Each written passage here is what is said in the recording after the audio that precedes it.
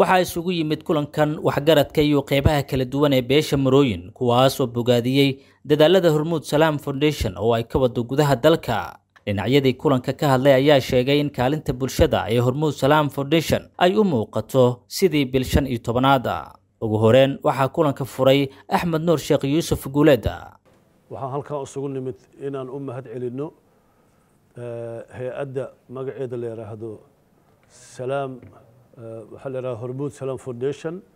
Si gaar ah waxaan rabnaa inaan ugu mahad celinno c e o-ga ama maamulaha hay'addaas hormuud salaam foundation cabdulaahi nuur cusmaan cabdulaahi barakaad oo runtii aan dhihi karno hay'addaasi inay halkan soo gaarto.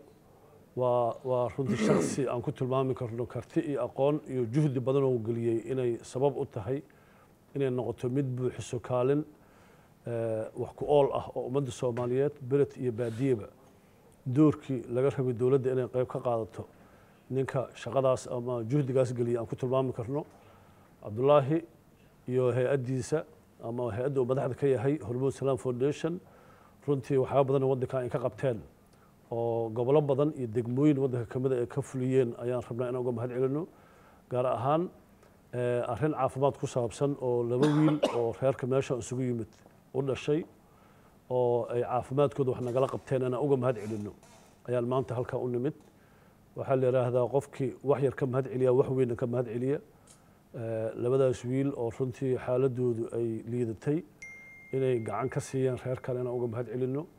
Ayaan rabnaa maanta fursaddan inaan uga faa'iidaysano dhanka kale qaar ka mid a waxgaradka beesha marooyin oo kulanka ka hadlay ayaa ka mahad celiyey waxqabadka hormuud salaam foundation sida loo sheego akhyaarta horeba waxaan leenahay cabdullaahi waa mahadsan yahay wax qurux badan oo adduunyadana aada sharaf u ah. Aakhirana aan isleenahay ajir weynaa laga hela qabtay. Waxaan isleenahay marka waxqabadkaas inaan uga mahad celinaan isugu nimid iyo isbarasho. Sida la sheegana beeshu masagooye maahane muqdisho ilaa xardheeray degtaa. Magacaas dheeray leedahay qayb ka mida sawaaye inta dadka degi beelahaasi ka mid tahay meelahaas dega magacaas leh ilaa mudug geeskaas dhinaca xeebta. Waxaan leenahay walaalkayna waa mahadsan yahay. Hay'adda uu mas'uulku ka yahana waa u mahad celihaynaa keliya ma saaro annaga xataa waajibna saaran waayo inaan maarata ka qayb qaadano khayraadka iyo wanaagga ay walaalaha sameynayaan.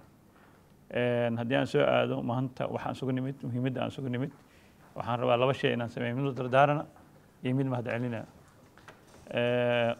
walaalaha waxay sheegeen waxyaaba badan ay qabato laakiin mid anigu aan maqlay maantana markhaatigeeda aan helay aan rabaa inuu ku diro. Xataa dad maskiina diyay ka dhiibeen marka qof diyo dhiibtay inay qofka muslimiin oo xiran u xiran diyo u xiran ay ka dhiibto waa wax ugu sarreysa qof muslina ay sameyn karto waa in qof muslina qorteeda adoo qof la xoreeya camal la mid ay la mid tahay. Marka waxaan leeyahay ajri xasan horta allah idinka siiyey wax khayraadkaas awoodiina xooga badanne. Waxaan u mahad celinaynaa dadka soo agaasimay mar labaadna walaalka la sheegay ee muxsinka ah ee wanaagga sameeyey dadka dhibaataysan oo walaalihiisa isaga iyo hay'addiisuba ay ku caawiyeen sababna u yihiin noloshooda hadda maanta jirta oo aadaan ugu mahad celinaynaa. Waxaan leenahay ilaahay ha u jazeeyo khayr badanna allah siiyo halka xaboo soo haray. Xanuunkiisa laakiin annaga wuxuu nooga weynaay inaan buurti qaafo qaadno garabka ku qaadno. Waa halka xabo. Hadda sagaashan iyo sagaalaa nagala deberay marka sagaashan iyo sagaalkii dadka kala deberi jiray iyo xabadii kaliyaheedoo annaga buurti qaafo nala ahayd intiba hormuud foundationa qaaday mahadi ha ka gaarto waa uga mahad celinaynaa. Runtii hormuud foundation waxqabadkeeda iyo jiritaankeeda iyo siday ummadda ugu adeegto inta badan waa ka dhergsanahay laakiin markaas dhegtaka maqal kaliyahay nala ahayd haddase anigayayna saamaysay wanaaggeedii iyo quruxdeedii iyo fiicnaanteedii annagayayna saamaysay waxay naga qaaday buurti qaafo aan sheegayey dadkii kaleoo ehelka ahaayoo iyaguna gurmadka iyo dhibka iyo warka gaarayda ku hayana waa ka fayday. Ayagana waxaan leenahay ilaahay xumaha ha ka faydo iyo wixii dhibaayo oo dhan.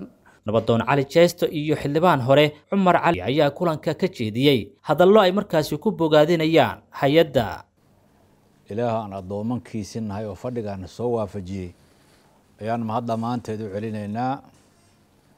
Haaniyanna waxaan u mahad celinaynaa walaalkay cabdullaahi oo cabdullaahi barakaadku magac dheer iyo hay'adda uu guddoonka u yahay oo la yidhaaho hormuud salaam foundation ayaan rabnaa inaan u mahad celinno.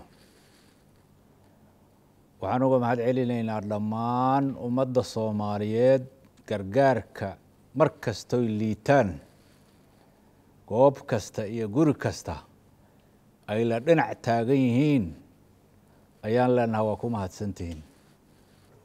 Salaan ka bacdi waxaan isugu nimiday inaan u mahad celinno walaalkeen cabdullaahi nuur. Cabdullaahi barakaad aada uga magaca dheer. Ah nin yacni madax ka ah hormuud salaam foundation. Shaqo badanna u qabtay ummadda soomaaliyeed. Annagu waxaan ka mid nahay ummadda soomaaliyeed oo hay'addani wax u qabatay. Marka waxaan rabnaa inaan u mahad celinno hawshii ay qabteen oo sharafta badneed oo badbaadada ahayd inaan uga mahad celinno ayaan isugu nimid. Markaan fikirnay waxaan awoodi weynay inaan uun u yeerno oon u mahad celinno asaga iyo hormuud salaam foundation kaalinta wanaagsan iyo waxqabadkooda inaan uga mahad celinno oon keliya ku soo koobintayne ummadda soomaaliyeed oo dhan hawsha ay u hayaan inaan uga mahad celinno ugu dambeyn waxaa kulanka mahadcelinta hadal ka jeediyey guddoomiyaha hormuud salaam foundation cabdulaahi barakaad salaan kadib runtii aad iyo aad iyo aad u mahadsantihiin annaga runtii hadda kaalmadaas aan geysanay waxay ka mid tahay kaalmooyin fara badan oo ay shirkadda samayso. Qayb yaroo ka mid ah waaye. Dadkan hadda keliyaha loo dhaqo aan qarash ka bixinno waxay marayaan hadda konton iyo afar qofood. Konton iyo afartaas qofood dabcan waa dad soomaaliyeed waxay ka dhasheen mataqaanaa beelo kale. Laakiin qof hadda maa inta gogol dhigtay waad mahadsantihiin. Jaakum allahu khayran yidhi. Idinka ugu horreeya marka idinkana aad iyo aad u mahadsantihiin. Qofkii waxaa dadka aan ku shukrin allah kuma shukriyo. Marka annagana runtii aad ugu faraxsannahay. Dadka keliya dhaqista keliya mararka qaarkood uma baahna. Duruufo kala duwanaa jira. Qaar ba dawooyin u baahanaa jira. Cirbado lagu duraa jira marka dawooyinkaas iyo wax kastoo qofku baahan yahay waxaan dhahnay waa inaad u samaysaan. Qofka soomaaliyeed in naftiisa la badbaadiyo wax ka muhiimsan ama ka weyn ma jiraan. Cabdicali aadan duuliye goobjoog muqdisho.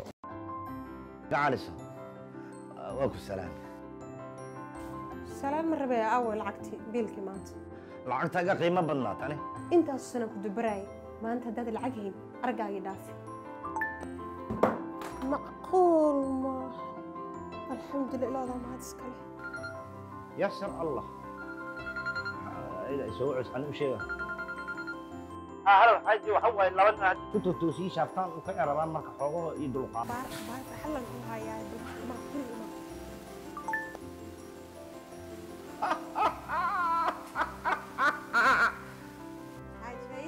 أخبار فرحان لهم كوه ما ترى عنا أخبار فرحان لهم ما حياتي يشك هذا هذا إذا ما هو.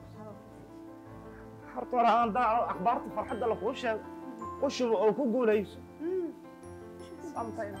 waxaan ku guulaysta inaa ooyaa iga soo dhan mar dambe ima burinaysa bajaajaan ku guulaysta anaa ku dhahay dib dambe ima burinaysan ku dhahay dakabacdi dhagaan ku dhagaa bajaaj lacagtaan kaalisa adigana haye haye farxadda ii sheeg anna waxaan ku guulaystay toban garan oo dahaba shirkadda isgaarsiinta samtel waxay kuu soo kordhisay ku shubo oo ku guulayso macamiil ku shubo kaarko hadalka ama internet samtel si aad ugu guulaysato toban kun oo hadyadood ay ka mid yihiin gawaaraha yundaay cusub bajaaj lacag iyo hadyado kalo